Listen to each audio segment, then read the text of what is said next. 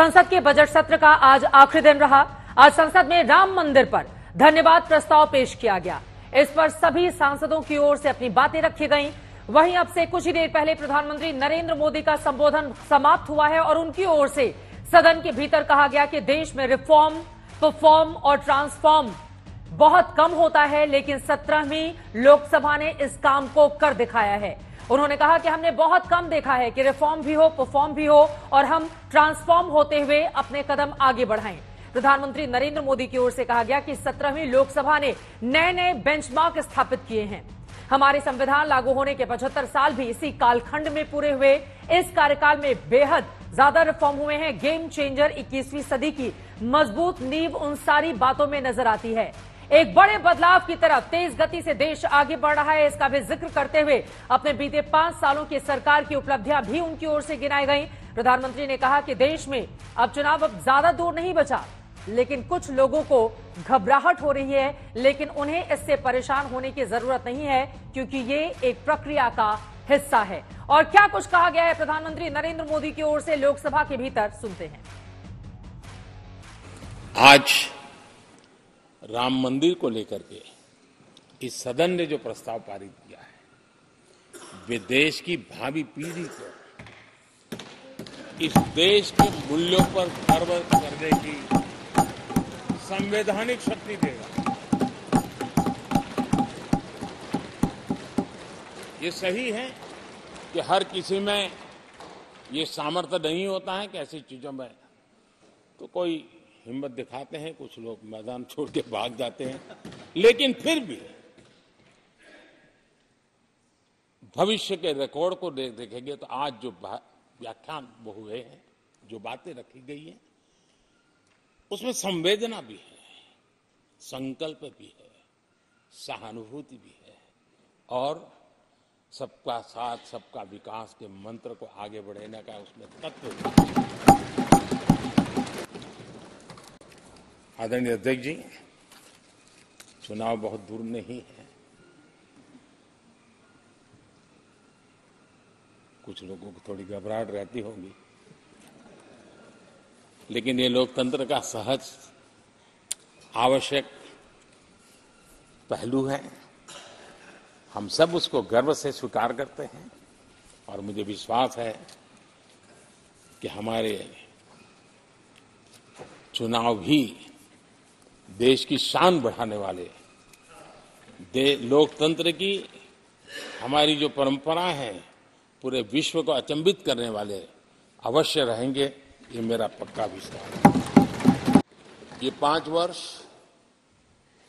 देश में reform, perform and transform. ये बहुत रेयर होता है एक नया विश्वास भरता हो, ये अपने आप में सत्रहवीं लोकसभा से आज देश अनुभव कर रहा है।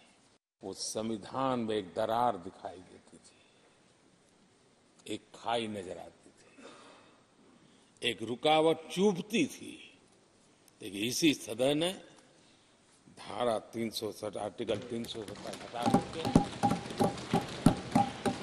संविधान के पूर्ण रूप को, उसके पूर्ण प्रकाश के साथ उसका प्रगटीकरण हुआ। जम्मू कश्मीर के लोगों को सामाजिक न्याय से वंचित रखा गया था। आज हमें संतोष है कि सामाजिक न्याय का जो हमारा कमिटमेंट है, वो हमारे जम्मू कश्मीर के भाई बहनों को भी पहुँचा करके हम आज एक संतोष की अनुभूति कर रहे हैं। जब भी जब भी इस नए सदन की चर्चा होगी तो नारी शक्ति बंधन अधिनियम इसका ज़िक्र हो करके यानी एक और भले ही वो छोटा सत्र था, लेकिन दूरगामी निर्णय करने वाला सत्र था, इस नए सदन की पवित्रता का एहसास उसी पल शुरू हो गया था। जो हम लोगों को एक नई शक्ति देने वाला है, और उसी का परिणाम है कि आने वाले समय में जब बहुत बड़ी मात्रा में यह हमारी माताएँ, बहनें बैठी होगी, देश गौरव की अनुभूति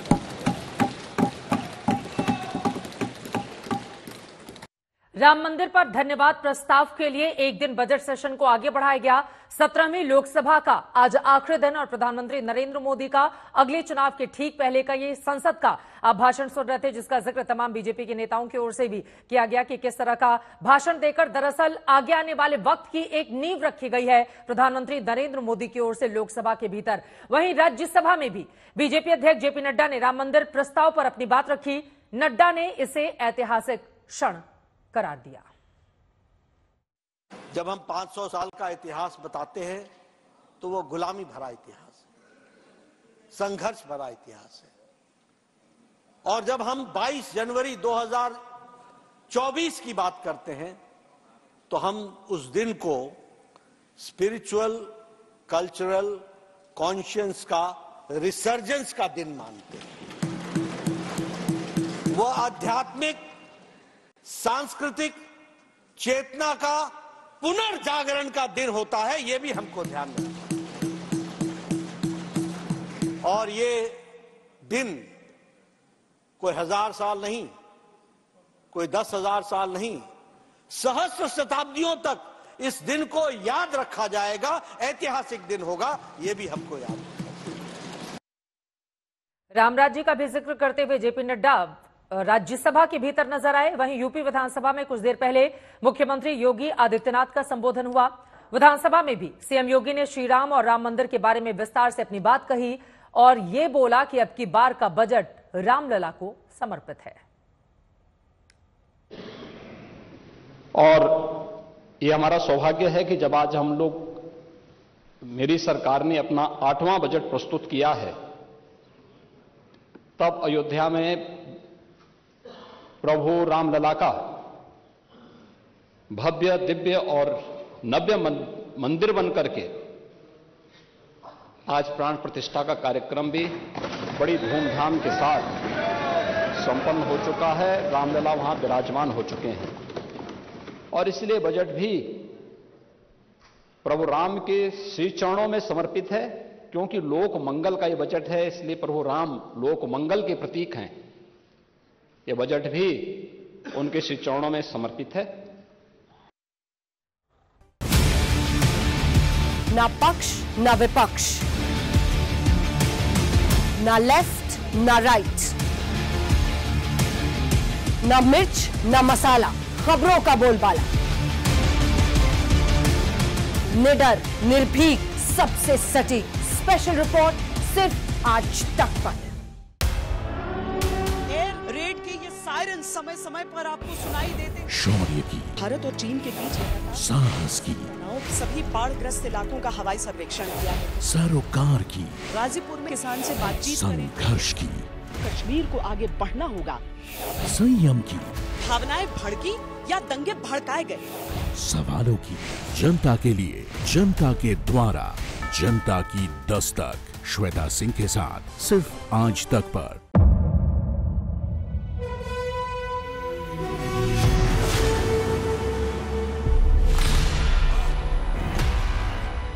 मुद्दों का मैदान ज़िम्मेदारी तर्कों पर घमासान। क्या बताना चाहते हैं देश को? किससे किसकी ठनी किसने दी किसे पटखनी? क्या सच है जिसको छिपाने की कोशिश? खबरों की दुनिया का सबसे बड़ा अखाड़ा दंगल। देखे मेरे यानी चित्रा त्रिपाठी के साथ रोज शाम पाँच बजे सिर्फ़ आज तक पर। ना पक्ष ना विपक्ष। ना लेफ़्ट ना राइट। न मिर्च न मसाला खबरों का बोलबाला। निडर निर्भीक सबसे सटीक। स्पेशल रिपोर्ट सिर्फ़ आज तक पर। एयर रेड के ये सायरन समय समय पर आपको सुनाई देते शौर्य की भारत और चीन के बीच साहस की सभी बाढ़ ग्रस्त इलाकों का हवाई सर्वेक्षण किया है। सरोकार की गाजीपुर में किसान से बातचीत संघर्ष की। कश्मीर को आगे बढ़ना होगा। संयम की भावनाएँ भड़की या दंगे भड़काए गए?